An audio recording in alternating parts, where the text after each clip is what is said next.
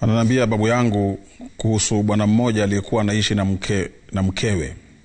Yule mke akapata mimba akajifungua vizuri kabisa, lakini mambo yakabadilika. Yule bwana akawa anamchukia mtoto wake mchanga, akidai hakuwa wake. Hakumwambia mkewe, kimoyomoyo tu akawa hampendi yule malaika wa Mungu. Akafikiria kufanya DNA, akaona aa, akaamua kumuua yule mtoto.